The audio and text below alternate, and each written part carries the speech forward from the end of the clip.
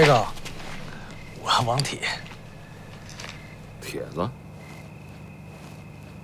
你跟着我干什么呀？你干啥去？我去看个病人。我也想去看看。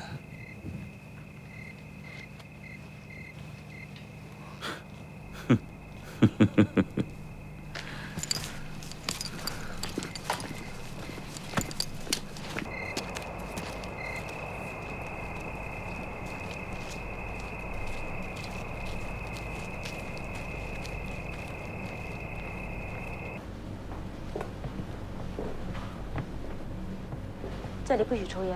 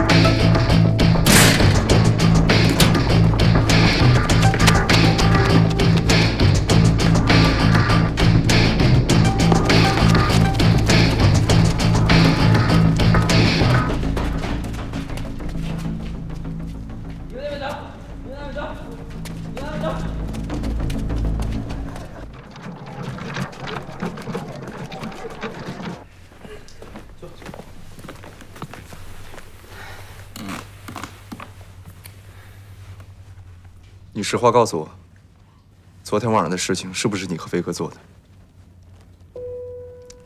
说呀，是不是你俩呀？是我做的。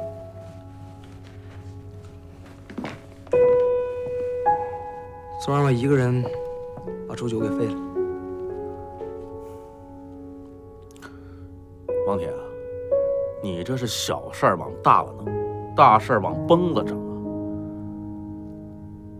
啊！哎呀，看起来咱们德义堂跟周大棒子这场恶战是避免不了了。你们不要再说王铁了。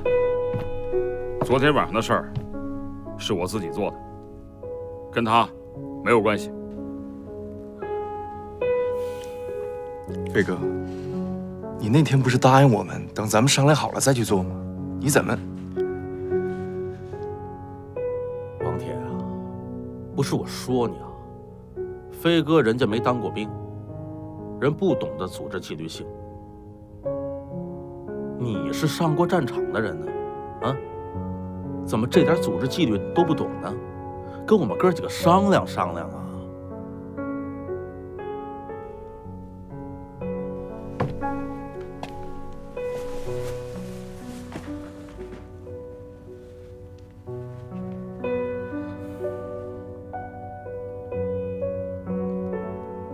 说的对，我没当过兵，也没有组织纪律性，但是向北知道，从小到大我从来不欺负人，但谁也别欺负我和我的兄弟。谁要那么做，我就是跟他过不去。你们，都别吵吵。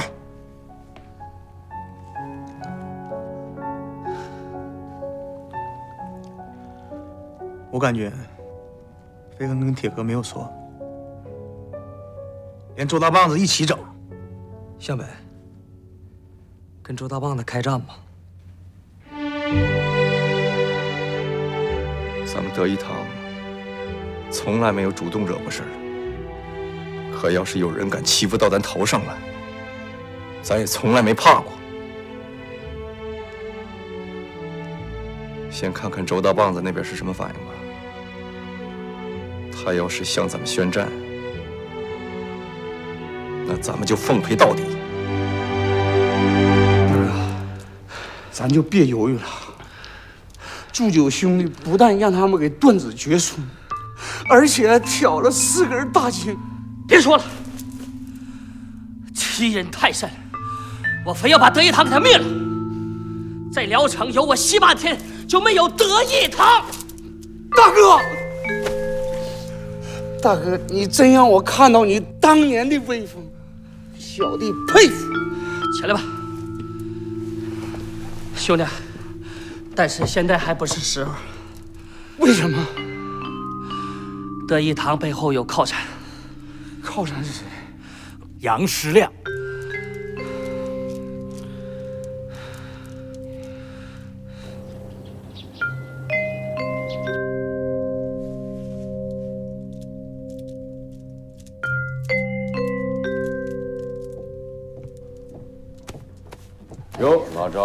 么早就来了，有什么事儿？坐坐坐坐。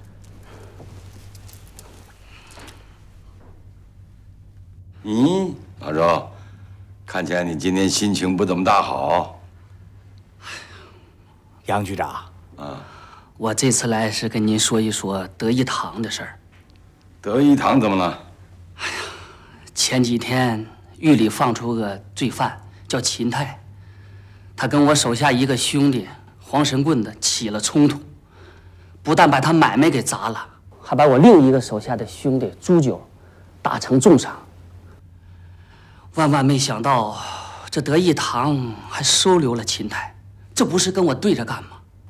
有这种事儿啊？哎呀，杨局长，不但有这事儿，德义堂还派了人去医院补了刀，把朱九我兄弟手筋脚筋全给挑了。哎，那这德义堂最近也太暴虐了点儿，这都怪我管教不当。不过老周，你放心，我一定把到医院去行凶那个人给抓起来。抓了就完事儿了吗？那你还想怎么办？杨局长，您知道，我周大棒子退隐江湖这么多年了，专心打理古董生意，不惹事儿。不给您添麻烦。他德一堂这几个兔崽子非要欺负我们城西帮，我实在是咽不下这口气呀。我准备要和他们开战，把我们陈西帮所有丢的面子全部找回来。这次我来就想跟您打个招呼，不想瞒您。不是不是，老周，你可能误会了。你过去帮我做过许多事情，我都记在心里头呢。那你也理解理解我，我现在坐这位置，想端平一碗水都不容易。至于你丢掉的面子呢，当然要把它给找回来了。可是我是觉得啊，德义堂这帮子小屁孩儿，应该不是你老周的对手。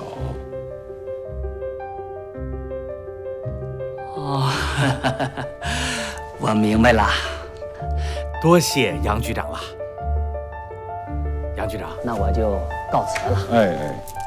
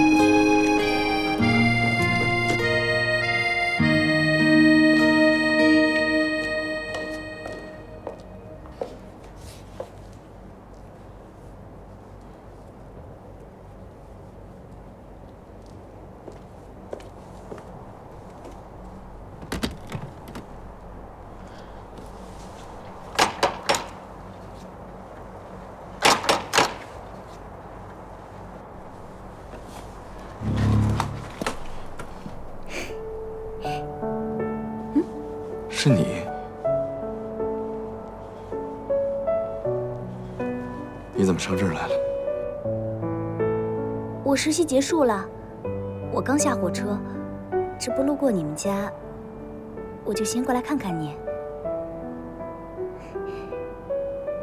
向北哥，你最近好吗？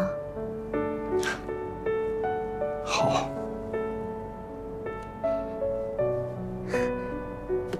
这是我给你带的礼物。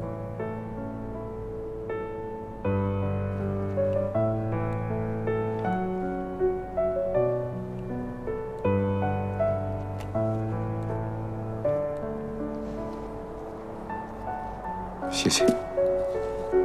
哎，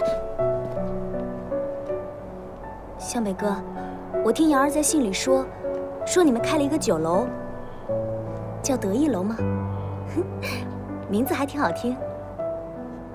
是，我和兄弟几个做点买卖，混口饭吃。那，你什么时候有时间，请我去你们得意楼吃饭呢？你能去吗？嗯。欢迎你。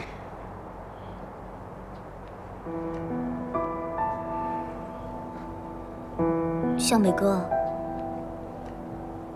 是不是张会长还没回来呢？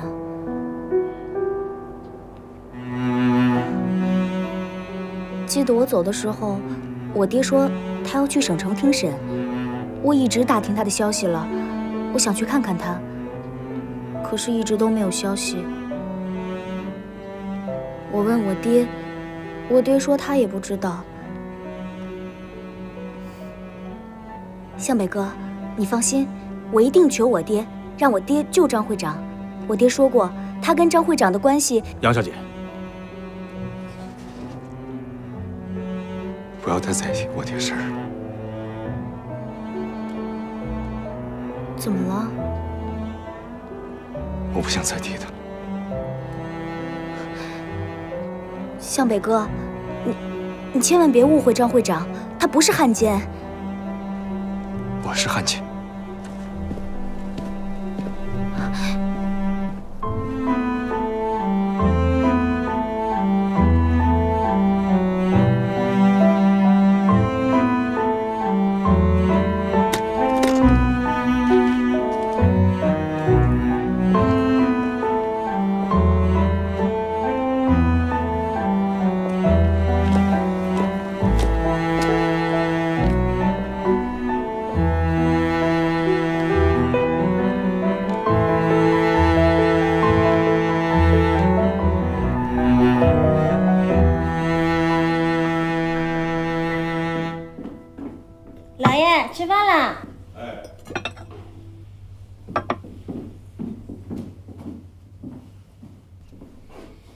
花儿，吃饭了啊！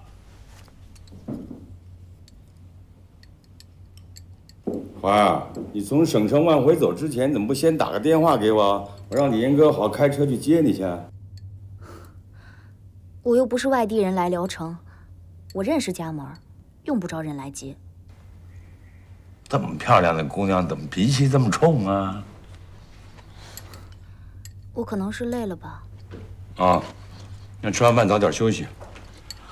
哦，那什么，你现在实习结束了，我已经打电话到省里头给另外一家医院，西医的医院，跟你的专业也能对口，所以你在家好好休息几个星期之后，直接上班去就行了。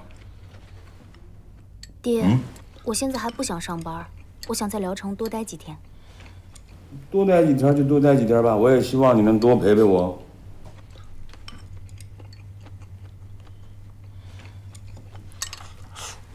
爹，我问你件事儿，嗯，张向北他爹现在怎么样了？还在省城关着呢。你问这个干嘛？哎呀，我就问问你嘛。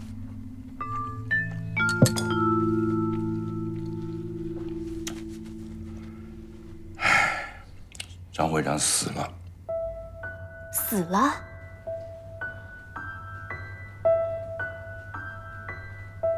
怎么死了呢？爹，你不是一直跟他关系挺好的吗？那你怎么不救他呢？我救他了，我从省里头把他捞回来的。可他回来之后，他得了肺结核了，病死了。那你为什么不早点救他呀？他是汉奸呐，这是我说救就能救的吗？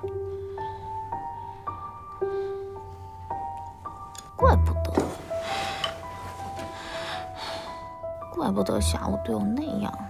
谁呀、哪里什么了？嗯，爹，我困了，你自己吃吧。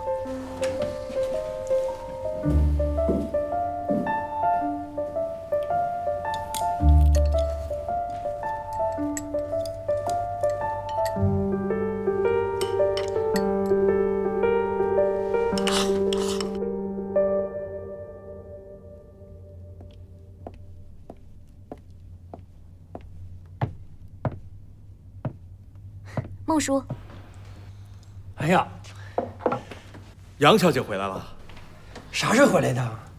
我昨天回来的，杨儿在家吗？在在在，在楼上呢，睡觉呢。我去喊他。啊，不用了，我自己去吧。这么长时间没见杨儿，怪想她的。哎，杨小姐，嗯，我想求你个事儿。我知道你跟杨儿关系好，你能不能替我劝劝他，别让他跟德义堂那帮人混在一起？你的话他肯定听。叔求你了，啊，嗯，行，那你上去。啊，那我上去了。记住叔说的话啊！啊，知道了。哎这回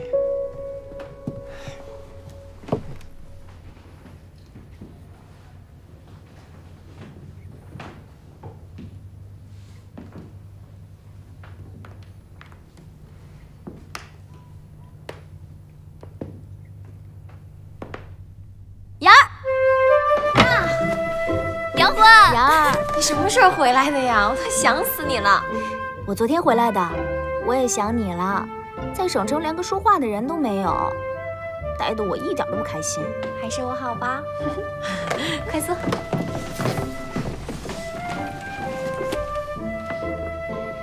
你去看张向北了吗？我可是把你的信读给他听了啊。看你平时挺单纯的，写情书还挺有一手的呀。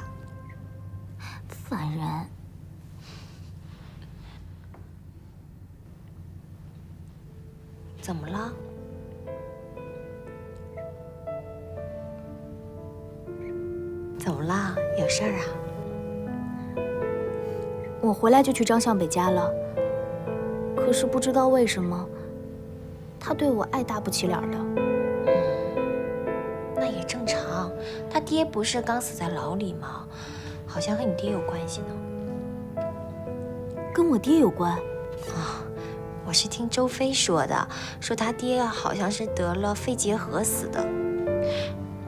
那跟我爹有什么关系啊？你告诉他别瞎说。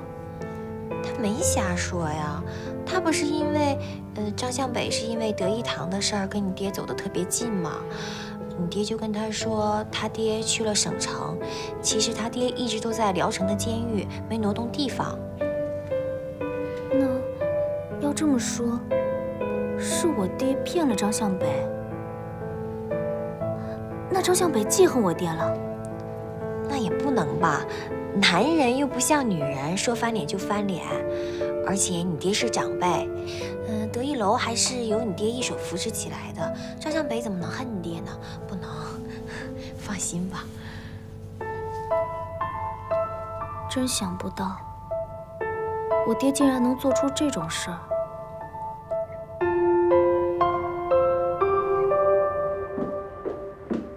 香姐，你这是要出门啊？上哪儿去？上班，别管我。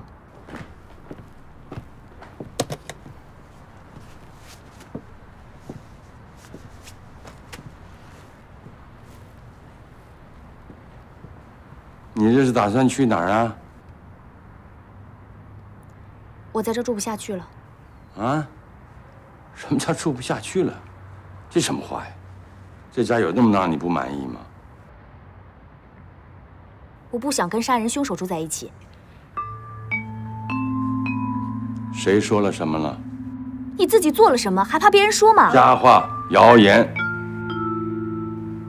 别乱听别人说瞎话。回去，回屋里去。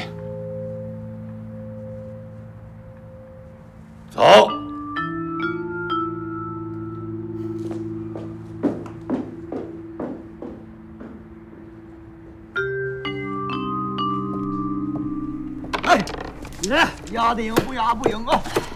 天干那我就不信这把赢不着你啊！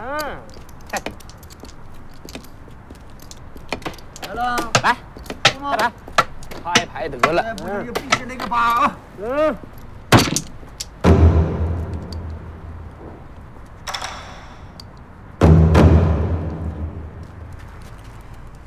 你啥意思？你们这帮狼崽子，白眼狼啊！你凭什么说我们是白眼狼啊？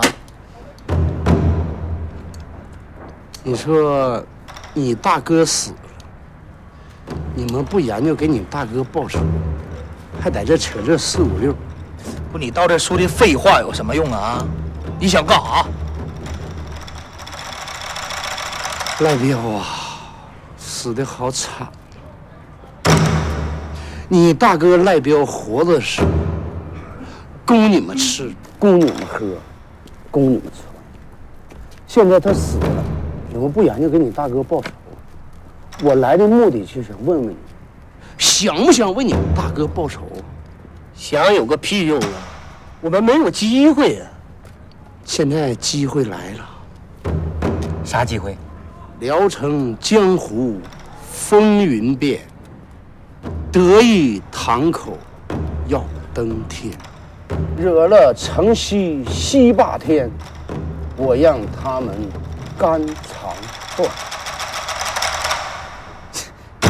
你们是不是要和德义堂开战了？哎呀，小伙子，还能听懂我的诗词？你那啥诗词？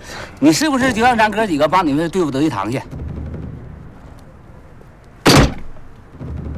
你没感觉你说这话太小儿科吗？我们城西帮对付德义堂，用得着你们吗？我是可怜你们呀！大哥一死，你们没有能力去为你们大哥报仇。我想助你们一臂之力，帮你们把仇报了。仔细想想，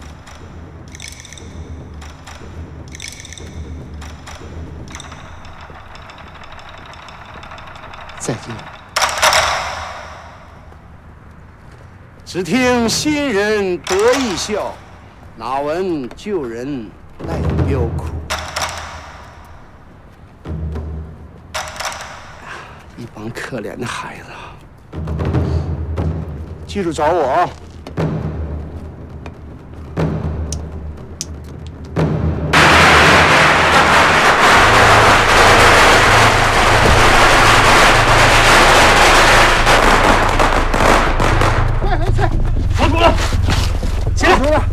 任，啊啊啊！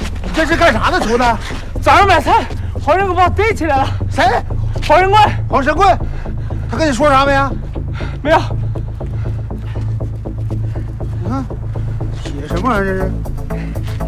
明天下午四时，聊城西郊决一死战，西坝田。进屋，快快快走进屋，快！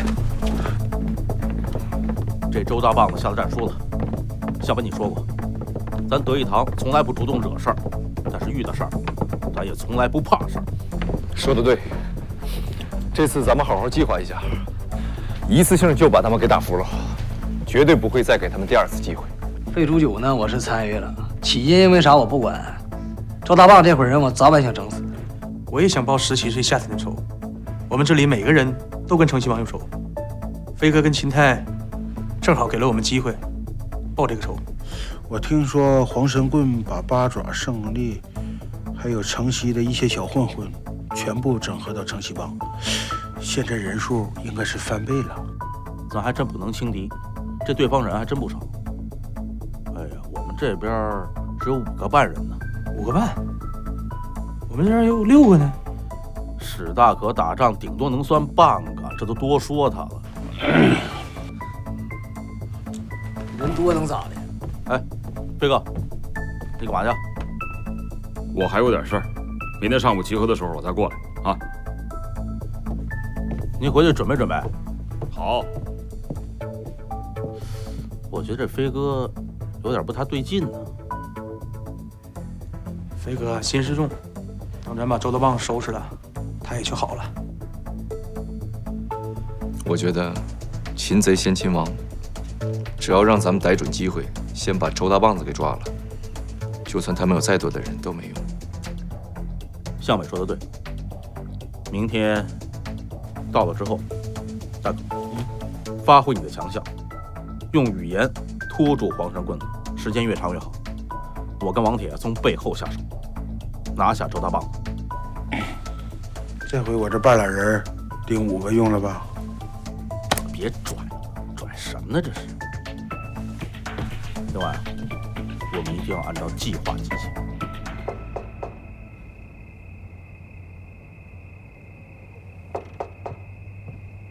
杨儿，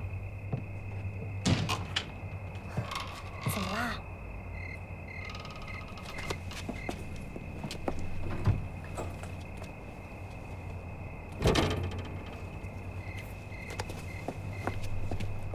哎，我爹还没睡呢。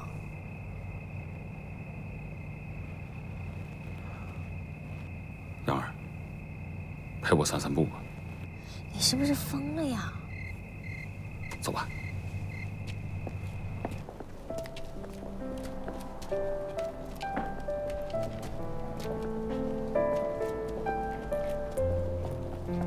周飞，你把我叫出来散步，一句话也不说，你到底什么意思啊？杨儿，你想过没想过，有一天你会嫁给我？没想过。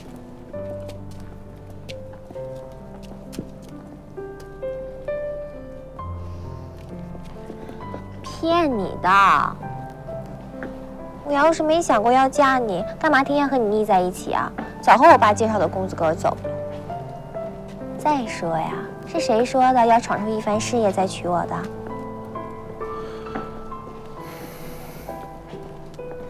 杨儿，如果我说的是如果啊，有一天你见不着我了，我希望你找一个真心对你好的男人，过幸福的日子。周飞，你什么意思呀？你是不是在外面有女人了呀？没有啊，没有什么呀。你今天说话奇奇怪怪的，你就是在外面有女人了。你怎么能这么想？你要是敢有，我就让我爸拿猎枪崩了你。笑笑什么笑？我也崩了你。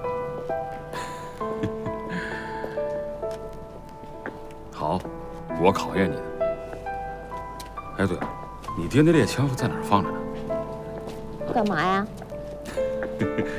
我把它偷出来啊，省得真有一天啊，让你爹把我给崩了。不敢。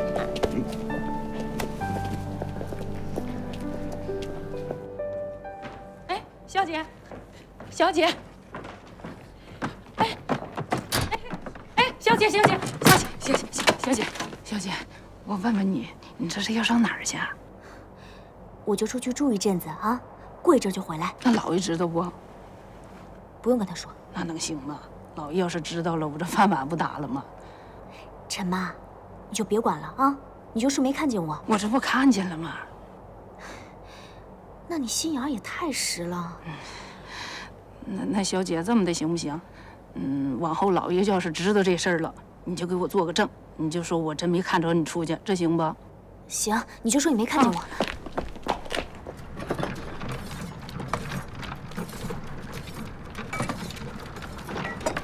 哎，兄弟，好，好，停停停，谢谢啊，给。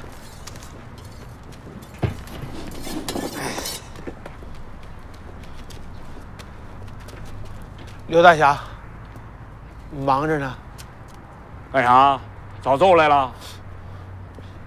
刘大侠，我给你赔礼道歉来了。你说这千不该万不该，我不应该打你的祖坟的主意。我我我今天负荆请罪来了，只要你能消气儿，你给我一刀吧。啊，算了，赶紧起来。不是怎么的？我这一早上刚开张，你哭咧咧干啥你？啊，刘大侠，你给我滚！不是，你得原谅我。你你你大人有大大大大的胸怀，你攒下肚里能行船，不生我气了，行不行，刘大侠？我知道错了，刘大侠。行了行了行行行，我犯不上跟你这小辈计较，传出去让人笑话，赶紧滚吧！别耽误我做生意，滚！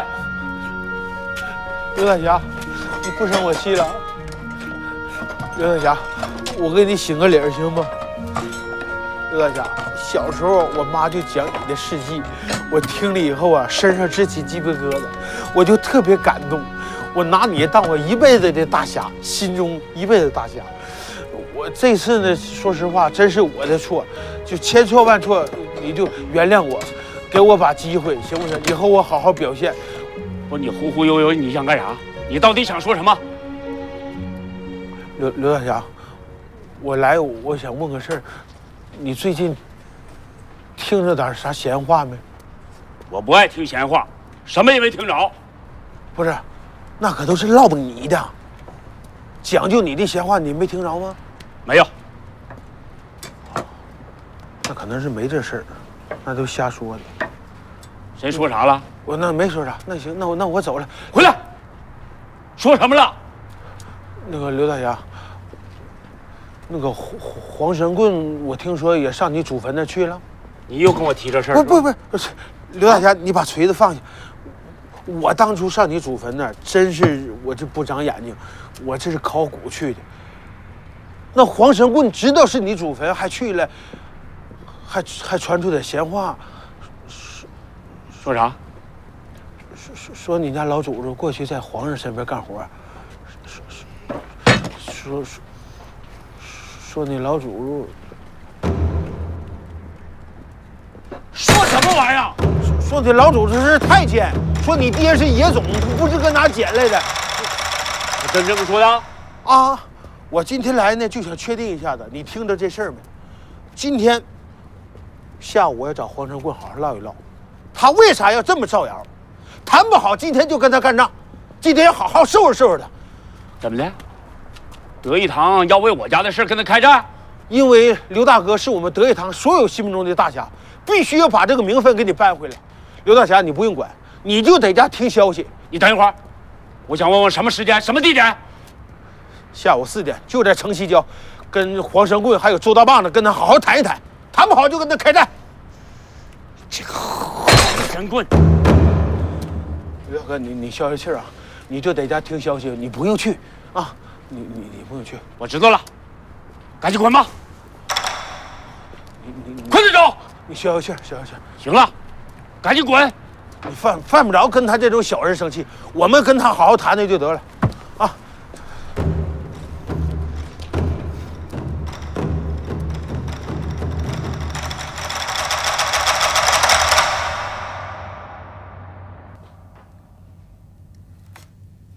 真的打算离家出走就不回去了？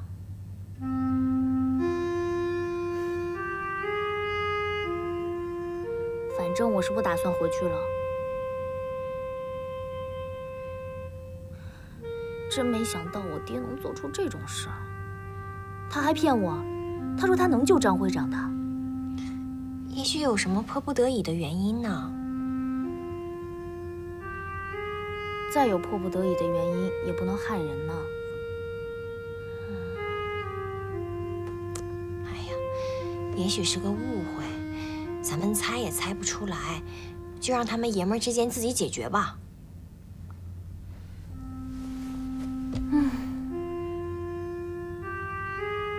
但愿是场误会吧。走，我带你去吃好吃的。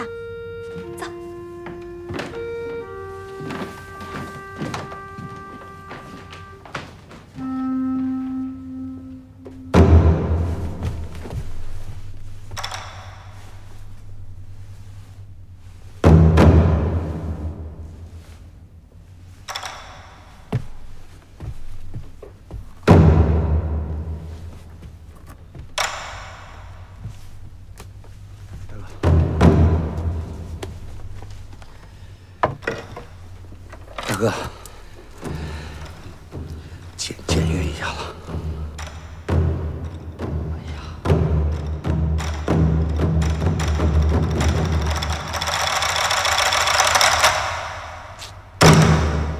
你找这些歪瓜裂枣的干啥呀？啊，你看看王老二走道都费劲呢，能打仗吗？大哥，我这么认为。打仗之前必须要用气势先压倒他。我爸说过一句话：“人多力量大，不打就害怕。”我就想让聊城的老百姓都知道，我们西霸天是不好惹的。大哥，你今天亲自出马，最低的得是这个场面。走，兄弟们，德义堂欺人太甚，他想让我们在聊城没有立足之地，今天必须灭了德义堂，灭了德义堂，灭了德义堂。我们的口号是：人多力量大，大大大，不打多害怕，怕怕怕。过来。嗯，嗯，这话听咋这么别扭呢？不打怎么就怕了呢？我说的是德义堂。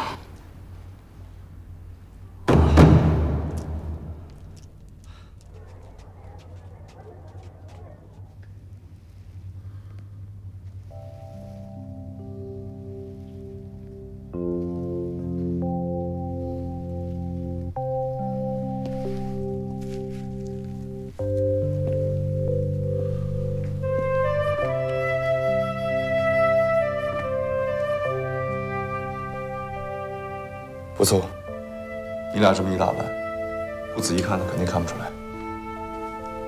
开峡谷楼的主意好，穿这套衣服能多干掉那么一个是一个。兄弟们，就按照咱们之前计划的行动。如果事态有变，咱们就会得一堂会合。好，只许成功，不许失败。是是。大哥，你这手里拿着什么？啊，这是昨天连夜我让那个军火商给我定制的，关键时候能派上用场。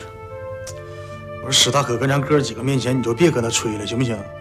那是一把沙喷子，你搁那吹啥呀？还整个军火商出来？关键鼓楼哥不说我是半懒人吗？我有了他，我就是一个半人。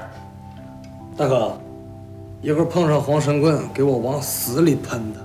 铁哥，你放心，这个枪就一发子弹，肯定瞄准了他。兄弟们，飞哥呢？哎，飞哥还没来吗？等会儿飞哥吧。不用了，飞哥应该是先去了，咱们和他在西郊会合。出发。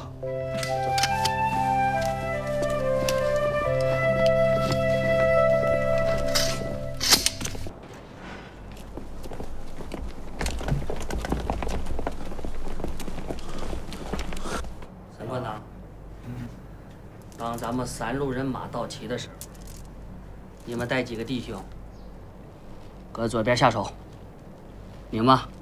在右边下手。沈馆长，你在后边下手。后面是河沟，我上不去。大哥，德义堂周飞来了。周飞来了。